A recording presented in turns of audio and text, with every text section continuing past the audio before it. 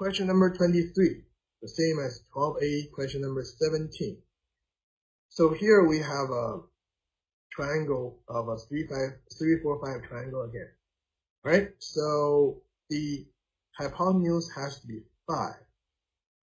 And what are we looking for? Okay, so this question saying the small square at this corner, the small square at this corner, um, we don't know the shape. Okay, we, we don't know the, the size. Okay, we know the shape is square. We don't know the size.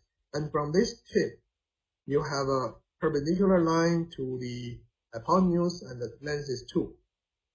Just remember, okay, this, this um, segment 2 is not on the same line as the diagonal of the small square.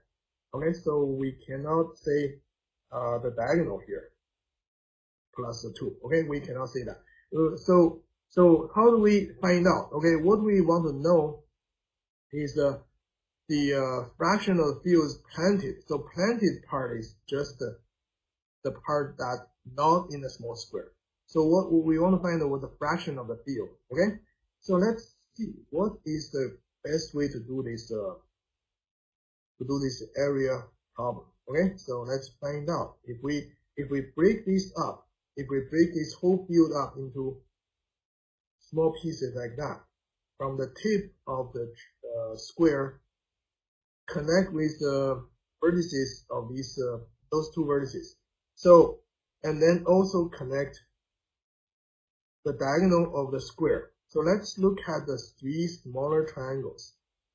Okay, so first of all, the the part here, this triangle the triangle, the, the triangle, the one side of the triangle is 3, and the perpendicular line is actually the side length of the square, small square. So how about we give it a, uh, make this x, okay? Make this x.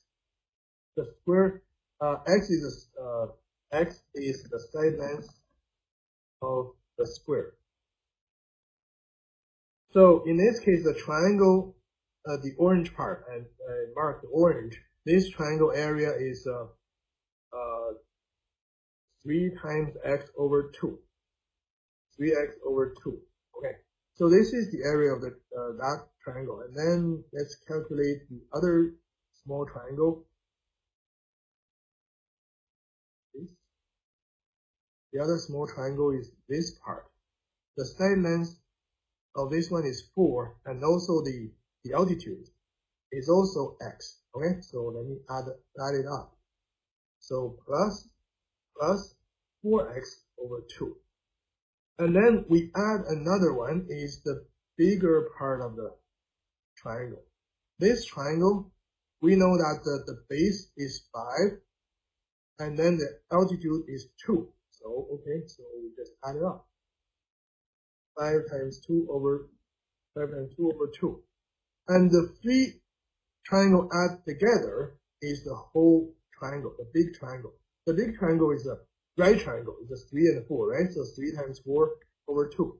Now we have an equation of x. Okay, so let's solve it. Let's solve it. So in this case, we have uh, 7 over 2 x plus, oops, 7 over 2. 7 over 2x plus uh, uh, 5 times 2 over 2 is 5 equals 6. So x, 7 over 2x is 1. So x equals to 2 over 7. Now we have the side length of the square is 2 over 7. Now what we need to do is calculate uh, the, uh, the square, okay? We calculate the, the, the area of the small square. So the area square is equal to area of S is equal to 4 over 49. So, so what we want is, uh, we want the, the, the part that is planted.